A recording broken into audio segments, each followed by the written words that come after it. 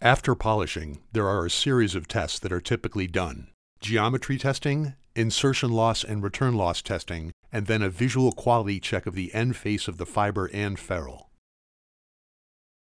We recommend the use of an interferometer for your process qualification, for designing your process to tuning it to the industry standards that you're trying to achieve, and for an ongoing verification of that process, whether it be on a small sampling basis or on a per plate basis. In some cases, your customer will require that you provide geometry testing 100% for your connectors. You may or may not need to produce a test report or at least save your geometry report in the database.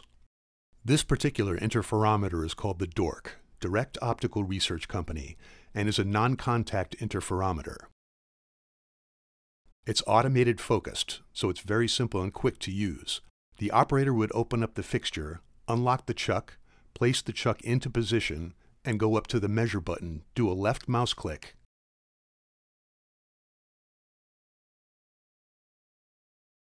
You can see the fringes are already autofocusing. There is a range of criteria on the right-hand side that are not visual to you right now.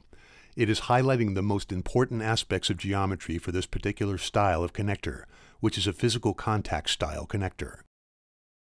The three most important things we're checking are radius of curvature, which is how flat or how radiused or steep this spherical dome is on the end of the ferrule.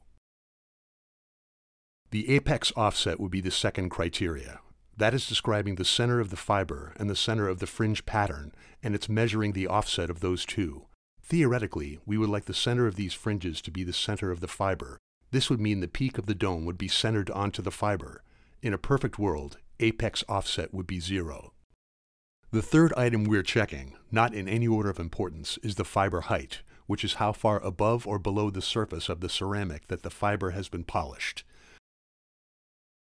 There is a range of default criteria entered into this interferometer already that just happens to be Telcordia GR326. As you can see, there is a global pass-fail here where it says that all the requirements have been passed or have been met, so we know that at least the geometrical part of the polishing process was successful. If you did not get the result that you desired, Fiber Optic Center can work with you to fine-tune your process and to tailor it to your needs or to your customer's needs.